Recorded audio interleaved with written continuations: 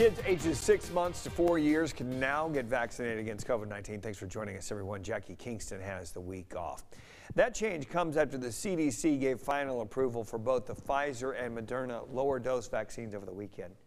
Tonight, KAMR Local 4's Kaylee Green has details from the Amarillo Public Health Department about their vaccine rollout plans.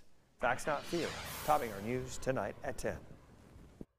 The Amarillo Public Health Department has already ordered 100 doses of the COVID 19 vaccine for young kids. Director Casey Stoughton says they expect the shipment early this week. Just as soon as it gets here, um, we'll we'll be able to start administering vaccines. So if you're if you're interested in that vaccine for your little one, um, please give us a call, and we'll certainly put it on Amarillo alerts as soon as we have the vaccine available. Stoughton says pediatricians' offices and pharmacies will have the lower dose vaccines available as well. There may be some different requirements as far as pharmacies go. Go ahead and call ahead, check to see if they are able to give um, give the vaccine to to that age group. She says now is a good time to get young kids vaccinated vaccinated because the clinic is not busy and kids can have protection by the time school starts. It really does offer some really great peace of mind that not only can the kids go back to school um, with that protection, but also they can really enjoy school and um, and not have to worry about um, quarantine and illness, and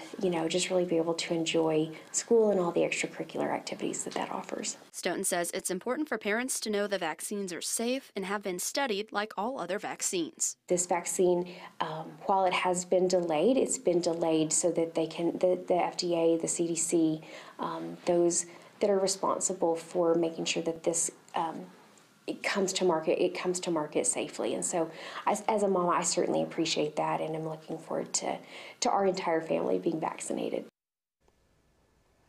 Stoughton says while COVID cases are increasing in our area, hospitalizations and deaths have remained low. She says that's because the vaccines are working well against the virus as Omicron continues to be the predominant strain.